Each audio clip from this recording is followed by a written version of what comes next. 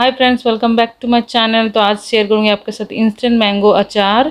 तो झटपट से बनाते हैं, चलिए मैंगो अचार। तो इसके लिए मुझे चाहिए वन टेबल स्पून चाहिए सरसों के दाना, ये रहा।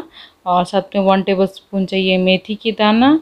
इस तरह इनको हम ग्राइंड कर लेते हैं, चलिए। फिर मैंने लिया पे तीन मीडियम साइज़ टू थोड़े से बड़े। मैंने मैंगो लिया है, जिसको मैं चॉप कर लूँगी।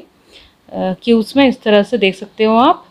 तो इसमें मैं जो मसाला मैंने पीसा था वो मैं डाल दूँगी और साथ में मैं इसमें दूँगी टू टेबल स्पून नमक। और यहाँ पे वन हाफ़ कप से नीचे मैं यहाँ पे दे रही हूँ कश्मीरी लाल मिर्च, जो तीखा नहीं होता वो मिर्च डाले।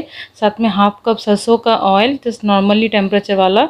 देखिए इसको अच्छे से मिक्स करना है ताकि ईच जितने मैंगो हैं उसमें पीसेस में यानी कोटेड हो जाए। तो इस तरह से आप मिक्स करें और इसमें तीखा वाला मिर्च यूज़ मत करें, जो जिसमें तीखा नहीं होती, जैसे कश्मीरी लाल मिर्च, वो वाला यूज़ करें। और ये खाने में बड़ी टेस्टी होती है और इंस्टेंट होती है। इसको जस्ट इसको मैं अभी आठ घंटे के लिए इसको ढककर रख दूँगी। उसके बाद ये रेडी है।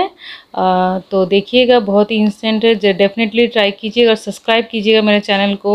अगर आपको पसंद आए रेसिपी तो ये रहा देखिए रेडी हो चुकी है। ऑलरेडी ये थोड़ा सा मसी हो गई है। मतलब ये ऑलरेडी ये अचार बनने स्टार्ट हो गया। अभी अभी ट्राई कर सकते हैं आप लोग। इंस्टेंट जस्ट एट आवर्स के लिए रख दें। धूप में भी ज़रूरी नहीं घर में भी आप रख सकते हैं ढक तो ये रहा देखिए।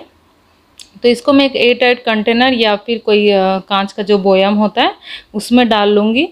तो प्लीज़ अगर आपको मेरी रेसिपी अच्छे लगे तो please like, share and subscribe ज़रूर करें, ताकि मैं और भी रेसिपीज़ आपके पास लेके आऊँ। तो चलिए इस तरह से जार में फिल कर देंगे, और देखिए इसको जो सेट टाइट करके रख देंगे हम लोग। तो ये रहा। तो इस तरह से हाँ तो ये रहा।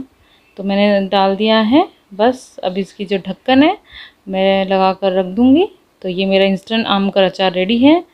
फॉर एनी टाइम के लिए तो पराठे के साथ खाइए, चावल या रोटी किसी साथ के भी खा सकते हैं। तो घर में अभी तो कच्चे आम सभी के पास है तो डेफिनेटली रेसिपी ट्राई करें। तो बाय बाय